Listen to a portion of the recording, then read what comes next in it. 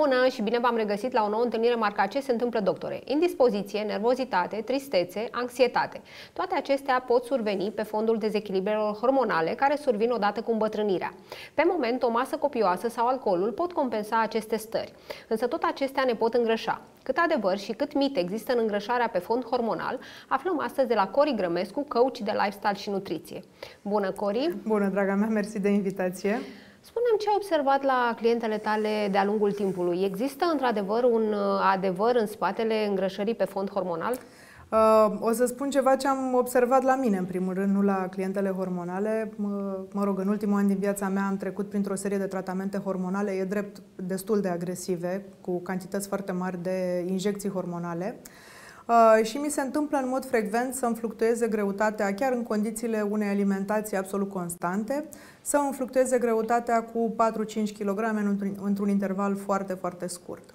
Deci, da, există o componentă care conduce către îngrășare în momentul în care facem niște tratamente uh, hormonale agresive sau avem niște dezechilibre majore în zona hormonală. Însă, Revenind acum la observațiile pe care le, le-am strâns din activitatea cu clientele, deși echilibrarea hormonală nu este prima mea linie de, uh, de activitate, nu este ceva în care să-mi găsesc uh, un interes major. Sunt specialiști de echilibru hormonal care fac asta. Eu lucrez cu astfel de uh, persoană, cu Mihaela Brăilescu. Ea numai asta face și este trăinuită și pregătită strict în direcția aceasta. Uh, însă, ce am observat lucrând cu clientele din zona de echilibrare hormonală este că sunt câteva componente comune uh, care duc, de fapt, la un dezechilibru sistemic al stilului de viață. Și prima din cele, din cele cinci uh, elemente disturbatorii, să zic, ar fi lipsa somnului. Deci, majoritatea femeilor uh, Uh, cu care încep să lucrez uh, nu dorm suficient, nu-și acoperă necesarul de somn sau dorm foarte prost. Sigur că aici este o dublă determinare. Dezechilibrele hormonale, unele dintre ele, dau tulburări ale somnului, dar totodată și noi prin comportamentele noastre. Binging-ul de Netflix, statul pe nesfârșit, la nesfârșit pe social media, Uh, terminarea internetului în fiecare seară, da? Toate astea ne strică calitatea somnului, care la rândul, uh, la rândul ei dezechilibrează și mai mult axul mare uh, hormonal. Un cerc vicios, practic. Este practic un cerc vicios. Apoi, partea a doua se referă la sedentarism. E drept că atunci când ai dezechilibre hormonale, de exemplu, afecțiunile tiroidei dau o lipsă de energie, dau o stare de oboseală cronică, da? Însă, Trebuie să conștientizăm de unde ne vin aceste probleme și pur și simplu să ne ridicăm de pe scaun, vrând nevrând, cu sau fără chef și să ne mișcăm, pentru că mișcarea fizică uh, de intensitate moderată, deci nu trebuie să fie niște antrenamente grele. Vorbesc aici de yoga, de pilates, de un mers uh, alert în natură, dar deci sunt niște eforturi Uh, nesemnificative din punct de vedere fizic, nu sunt foarte intense, ne vor ajuta pentru că încep să regleze metabolismul glucidic și automat asta impactează și axul hipotalamu-hipofizar. Deci, în momentul în care începem să dormim și începem să facem sport, cât de cât, da, 20-30 de minute pe zi, dacă facem, este un punct foarte bun de plecare, deja începem în timp să ne simțim mai bine. Apoi, altă parte pe care aș vrea să o menționez în, uh, și este de luat în calcul, absolut toate persoanele cu care discut despre dezechilibre hormonale, da, care vin, au în general probleme cu greutatea, dar pe lângă acest lucru au un meniu fundamental dezechilibrat, un meniu alimentar fundamental dezechilibrat. Deci mănâncă cu precădere produse de patiserie, mănâncă extrem de puține legume, mănâncă destul de multă carne roșie sau carne procesată, da? lactate foarte multe. Când zic foarte multe, mă refer că uneori mănâncă doar lactate zile în șir. Da? Ori aici, cheia pentru echilibrare hormonală, cheia este în primul rând să mâncăm mâncare naturală, mâncare sezonieră, să avem un focus activ spre a consuma legume, fructe, Uh, leguminoase, da? ele sunt foarte importante pentru că reglează uh, practic fundamentul nutrițional al sistemului hormonal și să încercăm să acordăm, mai ales dacă avem probleme hormonale, să încercăm să acordăm o atenție sporită uh, calității ingredientelor. Da? Încercăm să consumăm cât mai rar carne din comerț, da? mergem și ne orientăm către ferme în care animalele sunt crescute la sol, Uh, sunt hrănite fără făinuri animale, pentru că acestea sunt o sursă majoră de dezechilibru la rândul nostru. Uh, ne orientăm către pește de captură de talie mică și nu pește de acvacultură, da? deci evităm tot ce înseamnă somon, postrăv, doradă, mergem mai curând către herring, uh, zargan, stavrid, uh, Sardine. scrumbin, scrumbie, sardine, da? deci pești care sunt... Hamsie. Hamsi, da, toate sunt foarte bune. Herring, baby herring și toate, toate tipurile de pește pescuit. Uh, Uh, după cum uh, trebuie să înțelegem că nu ne avem, pentru că acestea sunt ingrediente mai scumpe, deci costul crește exponențial, sunt de 3-4 ori mai scumpe decât uh, produsele omologe de crescătorie. Dar mâncăm mai puțin și mai bine. Exact, nu avem nevoie de asemenea cantitate. Eu chiar văd diferența asta. am am început recent să-mi comand pui de la cineva care îi crește ecologic la sol. E drept că sunt de două, trei ori mai scump decât cei normali, însă un pui, că cumpăr pui întreg, da? un pui dintre ăsta crescut la sol, noi două persoane îl mâncăm în 4-5 zile aproape. Pentru că cantitatea de carne, de fapt, pe care ar trebui sau avem nevoie să o consumăm este extrem de redusă. Deci vorbim de o bucățică cât degetele de la o mână din când în când. Deci nici de cum nu trebuie să ne gândim că o să ne crească bugetul extraordinar de mult, pentru că până la urmă este vorba despre sănătatea noastră.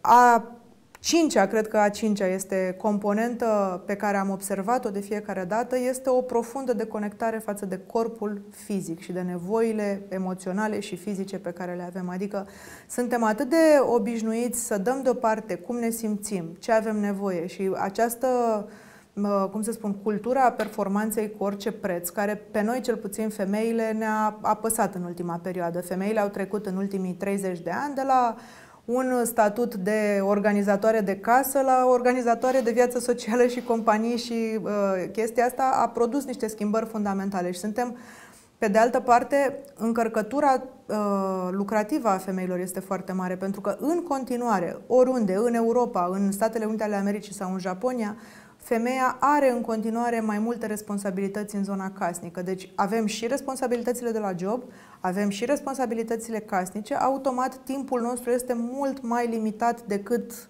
uh, decât am avea nevoie să fie. Și atunci undeva va trebui să luăm o decizie și să tragem o linie, o linie și chiar, chiar mă bucur că tot mai multe femei încep să-și asculte corpul și la un moment dat Bine, împinse de la spate decât un burnout de obicei, uh, decid să ia lucrurile mai ușor, să se menajeze mai tare, să prioritizeze sănătatea și echilibrul emoțional în fața, nu știu, unor reușite în carieră fulminante sau orice obiectiv dintre ăsta extern. Deci toate, toate lucrurile astea sunt foarte importante. Dar astea duc, uh, cum spuneam și la început, la un uh, binging pe toate planurile și uh, din punct de vedere al alimentației și al alcoolului. Multă lume consumă și alcool, să nu uităm. Alimentație, alcool, abuz de substanțe, abuz de cumpărături, tot ceea ce practic ne amorțește și ne pansează simțurile este suprafolosit, din punctul meu de vedere.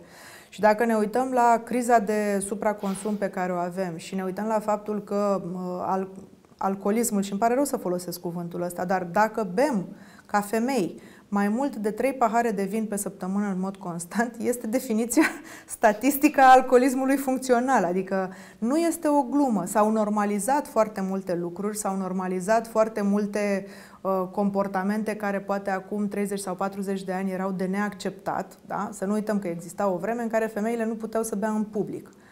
Dar lucrurile astea, sigur, n-aș, n-aș vrea să ajungem vreodată înapoi în zona aia, Doamne ferește, însă nici să facem abuzurile despre care societatea modernă ne învață că sunt ok, că nu sunt ok. Nu avem nevoie de atâtea haine, nu avem nevoie, nu știu, ca să ne relaxăm, nu trebuie neapărat să plecăm în Maldive, ne putem relaxa foarte bine și la noi în Transilvania sau la noi în casă, dar cu condiția să fim echilibrați la cap și să căutăm Uh, evadările date de călătorii sau excursii exact pentru ceea ce sunt, ca ocazii de detașare și uh, de a învăța despre alte culturi și nu de a face pur și simplu un, o supracompensare ca să avem senzația că merită efortul pe care l-am făcut un an de zile. Și acum, la final, aș vrea să te întreb uh, ce părere ai despre binging-ul de sport, pentru că există multe persoane care se refugiază din consumul acestor uh, substanțe periculoase, excesul de alcool, etc., către sport. Cum este acesta pentru organism? Este tot o supracompensare și acolo, practic, este o refulare a frustrărilor și a nemulțumirilor din zona personală Sportul este un vehicul care ne, ne oferă satisfacție imediată pentru că vezi destul de repede rezultatele efortului tău. Pe de altă parte este și acel boost de endorfine care te face să te simți bine, însă ceea ce văd foarte frecvent femeile care fac foarte mult sport și lucruri despre care nu se vorbește extraordinar de mult, este un exces de cortizol, da? Uh, pe care îl vedem foarte repede în momentul în care începem să ni se umfle picioarele din senin și fără niciun fel de uh, motiv. Vedem un sentiment de vinovăție în momentele în care nu ajungem la sală și acolo s-a popularizat foarte mult, uh, pe linia asta s-a popularizat foarte mult uh, hashtagul No Rest Day, ceea ce este, din punct de vedere sportiv, este o catastrofă realmente. Avem nevoie de pauze după antrenamente, da? N-ar trebui să ne antrenăm mai mult de o zi sau maxim două, fără să facem o zi sau două de pauză, da? Uh, și, în ultimul rând, vedem o incidență foarte crescută uh, în săli, și nu este o glumă aici, a abuzului de substanțe susținătoare de efort. Uh, a devenit absolut comun ca toată lumea să consume pre-workout-uri care sunt extrem de puternice, sunt niște energizante extrem de complexe și puternice care forțează efectiv sistemul nervos să reziste în timpul efortului fizic. Uh, consumăm tot felul de produse de sinteză pentru efortul fizic uh, la sală uh, sau nu numai la sală, că și alergarea este un alt domeniu în care oamenii fac abuz de, de efort fizic. Și din păcate această mm, oboseală accentuată și această refulare în, în zona sportivă nu face decât să ne slăbească corpul pe termen lung. Sportul făcut în exces este un alt stresor al corpului. Orice lucru pe care de fapt îl facem în exces nu este bun. Și îmi permis să spun asta după 15 ani ca instructor în sală, adică am văzut câteva zeci de mii de cliente de-a lungul timpului și orice exces de genul ăsta nu este deloc benefic. Pe termen lung nu arătăm nici mai bine, nu ne simțim nici mai bine, chiar, chiar vorbeam pentru că avem norocul să avem cliente care vin la noi de 10, chiar 12 ani. Și doamnele care au fost în această perioadă moderate, care au venit câte o oră la o zi sau două la antrenamente absolut moderate, dar au venit constant, sunt acum în preajma vârstei de 50-60 de ani și arată absolut impecabil, pe când uh, categoria de doamne care fac eforturi o perioadă scurtă de timp, că așa funcționează corpul, nu putem să facem eforturi intense la nesfârșit. La un moment dat uh, obosim sau intervine, intervine o schimbare în viața noastră și nu ne mai putem ține de sală. Cele care se antrenează în hopuri nu au niște beneficii, uh, așa să spui că merită pe termen lung, vizibile, da?